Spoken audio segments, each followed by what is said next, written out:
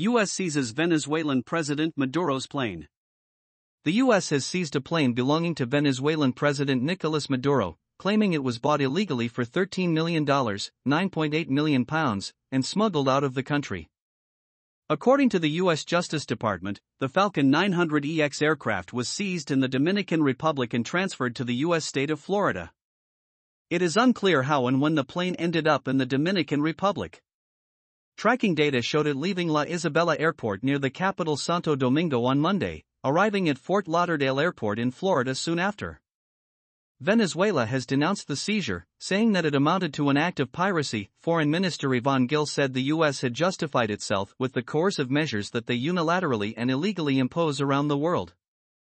In a statement, the Venezuelan government said it reserves the right to take any legal action to repair this damage to the nation. U.S. officials said the plane was seized for suspected violations of U.S. export control and sanctions laws. They added that an investigation found that people affiliated with Mr. Maduro had allegedly used a Caribbean based shell company to hide their involvement in the plane's illegal purchase from a company based in Florida in late 2022 and early 2023. The aircraft was then illegally exported from the United States to Venezuela through the Caribbean in April 2023. The argument by U.S. officials that the plane sale and export was in violation of U.S. sanctions is unlikely to carry much weight with President Maduro, who has repeatedly accused the U.S. of meddling in his country's internal affairs. A spokesperson for the White House National Security Council said the action represented an important step to ensure that Maduro continues to feel the consequences from his misgovernance of Venezuela. Markenzy Lapointe, U.S. Attorney for the Southern District of Florida, said the Dominican Republic authorities had given the U.S. government invaluable assistance in organizing the seizure.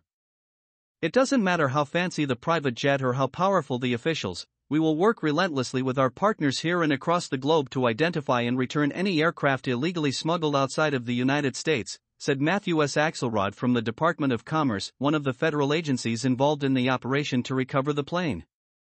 The plane appeared to be flown to the Venezuelan capital Caracas after arriving in Kingstown in St. Vincent and the Grenadines in April 2023, according to data held by the Flight Radar 24 website.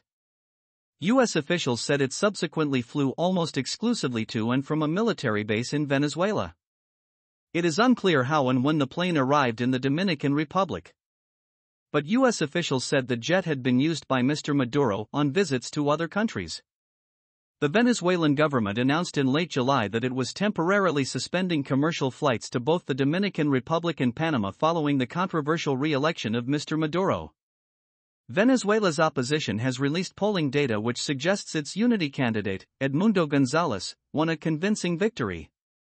However, his win has not been recognized by an electoral council loyal to Mr. Maduro the European Union has refused to recognize Maduro as having won re election in July without seeing voting results. Several Latin American countries have also withheld their support, with Mr. Maduro's former ally, President Lula of Brazil, among those calling for full transparency by the Venezuelan government. The U.S. has recognized Mr. Gonzalez as the winner, saying there is overwhelming evidence of Maduro's defeat. This is not the first time Mr. Maduro or Venezuela's government have been targeted by U.S. federal authorities over alleged corruption. In 2020, the Justice Department charged Mr. Maduro and 14 Venezuelan officials with narco-terrorism, corruption, and drug trafficking, among other charges. The State Department has offered a reward of up to $15 million for information leading to Mr. Maduro's arrest or conviction.